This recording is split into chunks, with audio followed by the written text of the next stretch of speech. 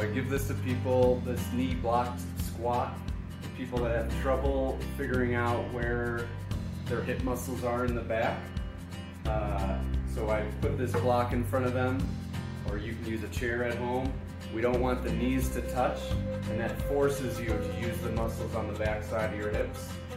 This can often be a little bothersome in people's knees, so I usually will just have them not go down quite as far, or if they're getting fatigued, like I can see with this client, the knees are starting to come together, so I'm going to just cue her to keep her feet flat, but keep her knees